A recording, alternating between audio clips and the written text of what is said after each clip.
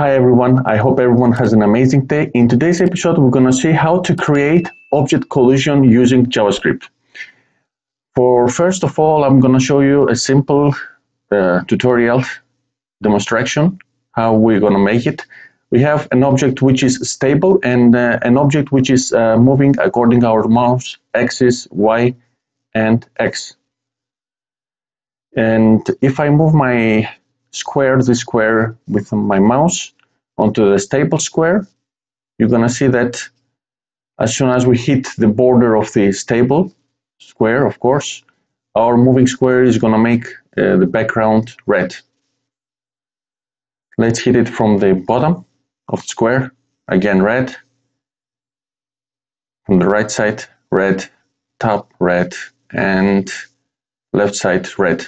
As soon as I leave, leave the uh, border of the stable square, my background is making black. Now let's make this tutorial with programming and JavaScript and see how this progress is making our life easier. So I've created a folder named collision detection and uh, here we're gonna make some files which is index.html we're going to use our HTML file inside style.css in order style the squares and of course obviously we need app.js in order to write our JavaScript code inside. So let's bound every single file between them. Exclamation mark, I press tab and I create the document HTML automatically and in here above in head inside head I link my style CSS and in body I link my JavaScript file. Okay. In body section we're going to use uh, two divs with class player which is going to be our moving square. And uh, the other one will be the uh, object which is going to be the stable square okay that's all. Now uh, make our style.css let's program it. I'm in my CSL style CSS file but I want to open my index.html with a live server and make it side by side comparison and see what's going on inside our Chrome browser of course obviously. I put for every single object margin zero. I give the padding zero. I say box size border box in order to make our uh, style CSS object, every object and every single uh, tab to be inside our window. Chrome window. I give body background black and get rid of this white background. Press save, okay, we get rid of. I get the player class and I get the object class and put some style to them. I say position absolute in order to move them in my desired position inside my Chrome tab. And I say give height 100 pixels. I give the width of 100 pixels and I press save. I cannot see anything, right?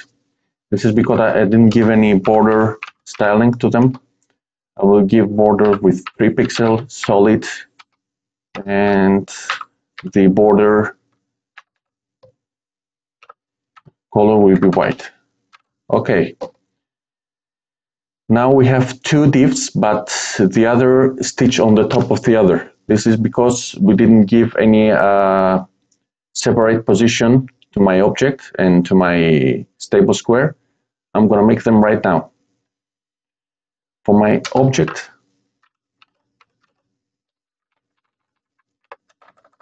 I'm going to give, I'm going to close this site. Is it okay?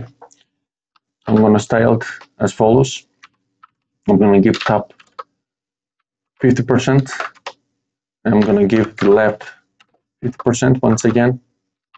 And I'm gonna make it exactly position to the middle of my browser. Transform translate minus 50% for x axis and minus 50% for y axis. Let's hit save and my stable square is stitched into the middle of my browser, as you can see. Okay. Put it again to the side of my, okay. How can I move it? Let me see. Come on. Okay. Give a little bit space to my VS Code and say z index minus one. I want to my stable object to stitch beneath my moving object. And I'm gonna give another uh, class named touch. This is independent class. It's not even in my index.html file. This is because I'm gonna add it to my uh, object as soon as I hit the border of my stable object. In order to give another color and say yes I hit the border of my stable square. I'm gonna give it background red. Okay? That's all. So I cannot move my uh, moving square because I didn't uh, plan any uh, JavaScript code. But here I'm gonna say also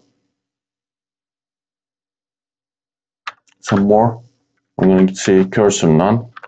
I don't want this cursor to be inside my browser and overflow hidden in order to prevent any uh, unwanted uh, scrolling event in my uh, browser. Okay, the cursor is gone, but now I cannot even move it. I'm moving now to my app.js file and program it. Okay, I'm getting the player object. I'm going to say document, query selector. I'm going to say player object and my stable square object document dot query selector which is going to be the single one. Oops excuse me. Query selector and I'm going to get the class of object which is inside my html that index index.html file. So in order to uh, detect if it's uh, have we have any collision with the stable object, I have to do an event listener inside my window named mouse move. Let's do it now.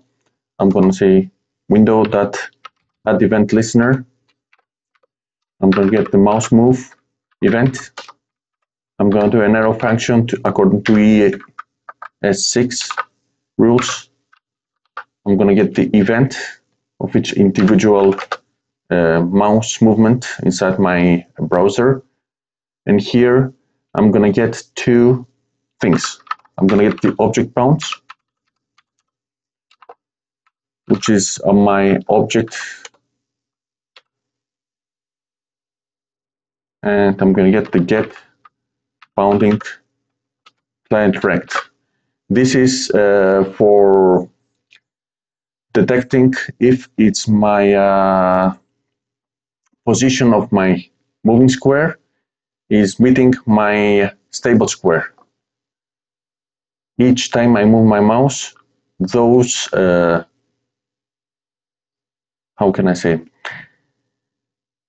mm, those values are changing each time I do this. each time I move my mouse, my uh, values of stable uh, of my moving square is changing and my object bounds is main remain the same. So get player bounds equals player dot get bounding client rect. Okay. Now let's move my uh, moving square as soon as I move my mouse give oops sorry why each time is making my life difficult right with that client X for my X for axis I get this less safe. And now as soon as I move my mouse right and left my moving square is moving but I cannot move it upside down. Up and down of course. Let's program it also. Let's copy it. Paste it inside and for my top value I'm gonna say for my client Y. Okay? Now I'm moving it in my freewheeling we don't have any uh, scrolling event as I assume my square hits the bottom of my browser. But now you see I don't have any background changing and any uh, collision detection let's do this now. So make it easy okay. Ah, come on. Thank you. So make it here. Let's my if statement work.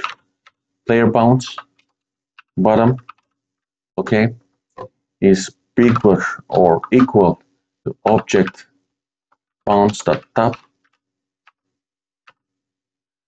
this means that my bottom value is changing to the bigger size. As soon as I go from the top to the bottom of my uh, browser this value is changing to the big one. But in my uh, stable object square. This value remains the same. And obviously my bottom will be more bigger than the top of my stable square. Yes. Condition one inside. Let's check if we have the condition two. Number two player right player bound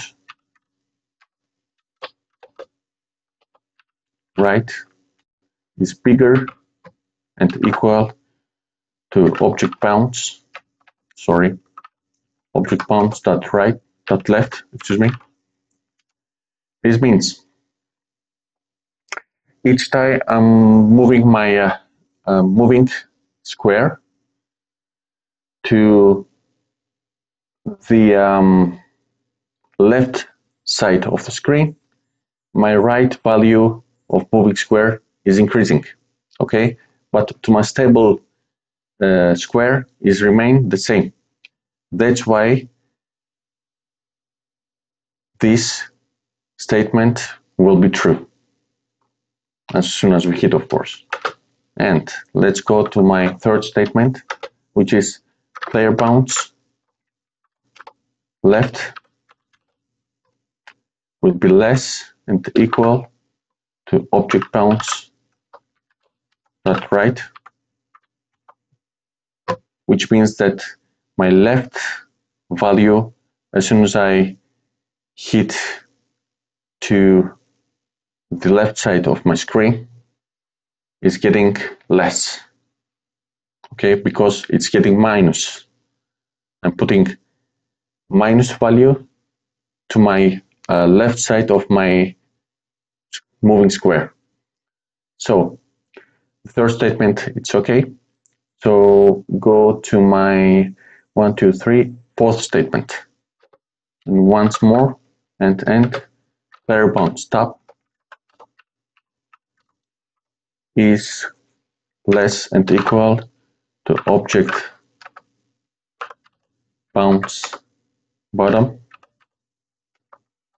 which means that my top value is decreasing as soon as I hit my browser's top section, moving to the top section. My moving square, moving to the top section of my browser, my top value is decreasing. So if this condition is true, then I'm going to say player dot class list dot add touch. Okay. Um, um, I'm I'm adding the class touch, which means my moving object hit the stable object.